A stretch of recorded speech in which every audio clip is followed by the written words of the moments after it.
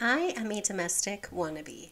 I am currently doing a new cleaning challenge that involves using index cards to keep track what I'm deep cleaning throughout my house. If you've followed me for a while, you would know I have followed several other amazing creators cleaning methods, including the Fly Ladies, who I spent the most time using, Clean Mama, and the Clutterbug, just to name a few. I have taken so much inspiration from them and found I need to just make something a little bit more me enter hearing about about index cards as an or, way of organizing what I need to do. I have created this based on my inspiration from other creators. So you might see some things that are pretty redundant. And the reason you will see things that are redundant is because their methods work. It is just fine tuning it to make it work for me. And maybe this will work for some of you too. So, thank you so much for following along with me. I am currently on week four, which week four of my system is completing an easy room. I want to remind you my system is flexible, so you could actually stand in your house and see what room just needs to be done this week. What room needs attention? And you could completely change the system based on that need for any week throughout my whole plan. It is a 12 week plan, and for me, I wanted to do an easy room. Well, my fridge was in dire need of a clean out. Then what better way is it to do an easy room than to focus on my fridge? Well, you can't do the fridge without doing the freezer, and I can't do my fridge and freezer without also doing my outside freezer. So my my easy room this week turned into a very very focused clean of the fridge and freezer. And I could not be happier that I did this.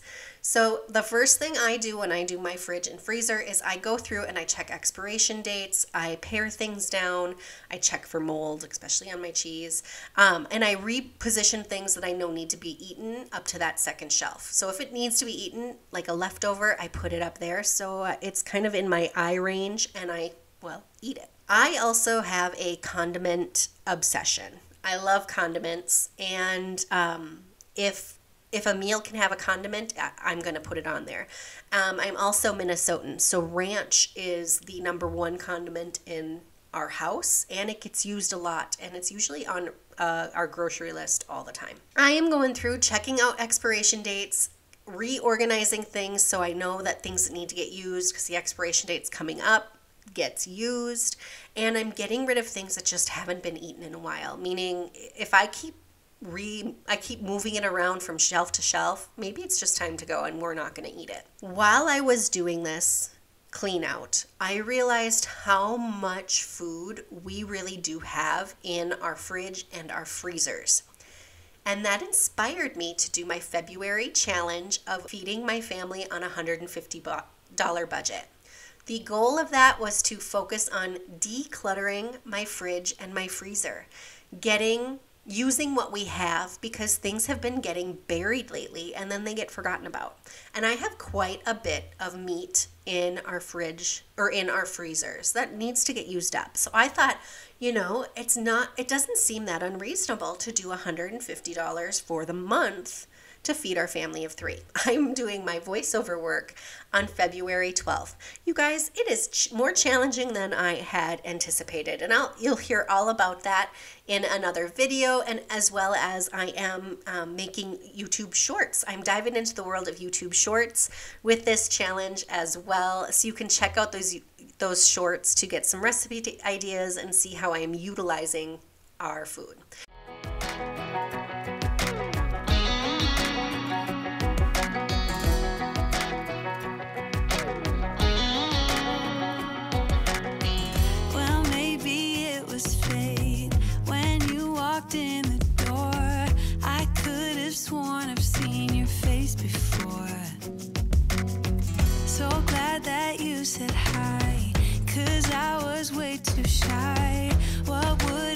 happened if you just had passed me by?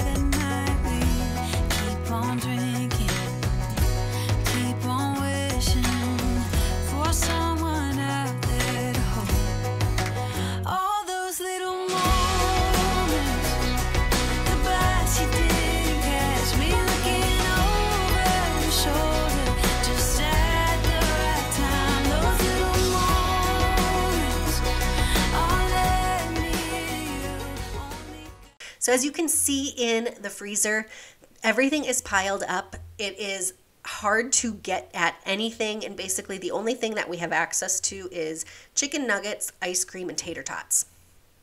So I decided I had to pull everything out. And as I did that, I had actually purchased these bins, and you will see a video as to why I purchased these bins in a little bit, and it is not for this freezer. But these bins fit perfectly on two of the shelves of the freezer. So I bought them for another reason, and the reason is inspired by a premiere of one of my videos, and one of you had the best idea that was mind blowing to me, and I immediately went to the dollar store and got some bins, and you will see that idea soon.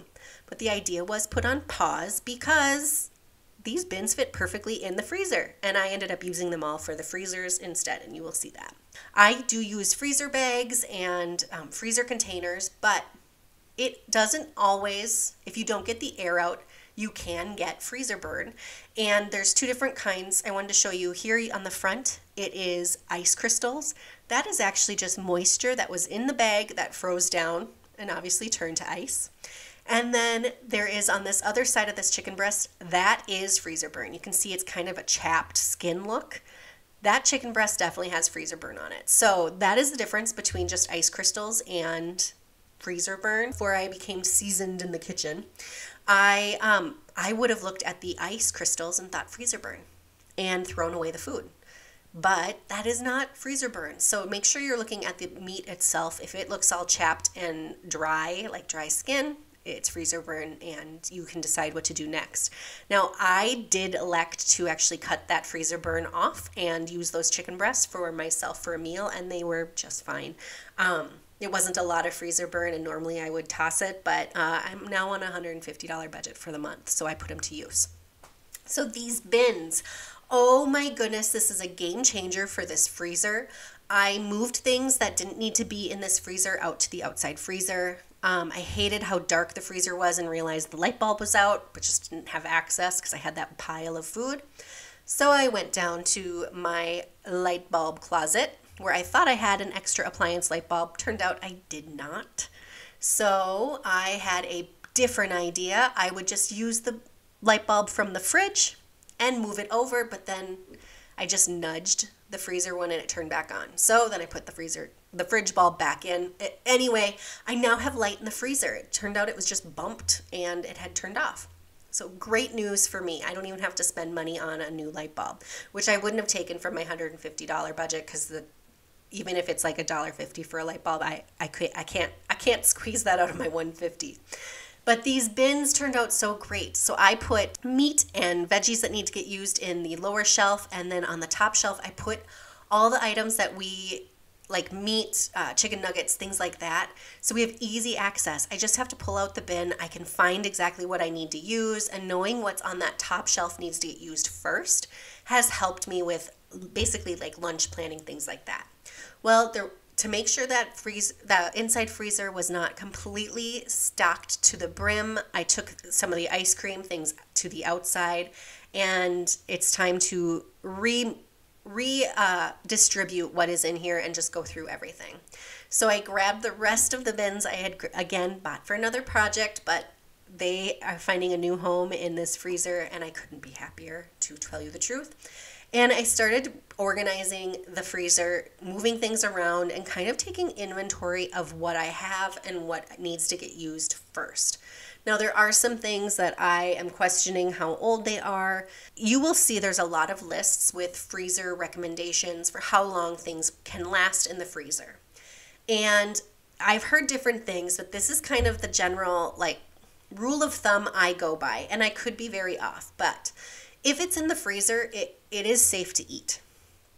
Even if it's older than that expiration date, but the flavor and the texture can change and kind of become less quality. So it might not be as good as you're anticipating it to be, but it should be safe to eat um, if it's been in longer. So a lot of things will say like three months, you know, like ground beef, three to six months, that kind of thing.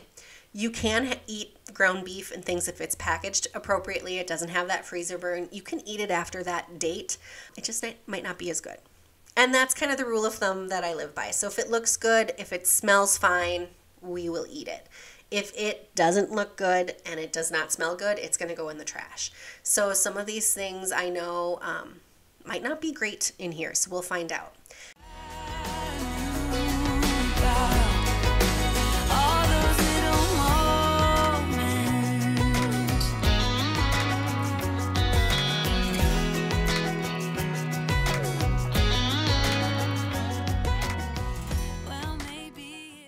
Now, if you watched, I did my first one of my first YouTube shorts with this recipe right here. And again, it was the inspiration for the challenge that I am starting for the month of February. And you guys, it is a challenge. Thank you so much for taking a little bit of your day and spending it with me. If you're following along, week five, we are repeating the most stressful room, which for me will be the first time jumping into the kitchen aside from my easy. easy room version of doing the fridge and freezer. We're jumping back into the kitchen and we are going to work on deep cleaning this space to go along with this fridge and freezer challenge. Thank you so much for watching and spending a little bit of your day with me, and I look forward to seeing you soon. Bye.